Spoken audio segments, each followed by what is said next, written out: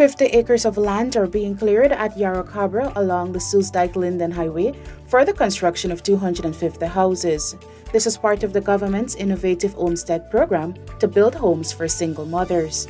A total of 100 acres of land has been designated for the construction of 500 houses for them. Minister of Housing and Water, Collin Croal, recently visited the area to observe the works. Approximately 30 acres have already been cleared.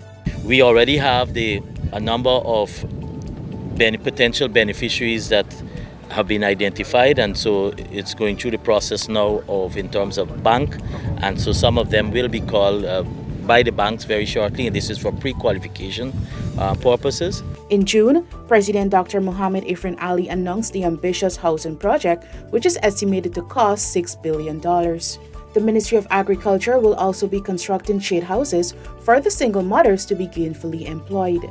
This is part of a plethora of measures by the government to empower Guyanese.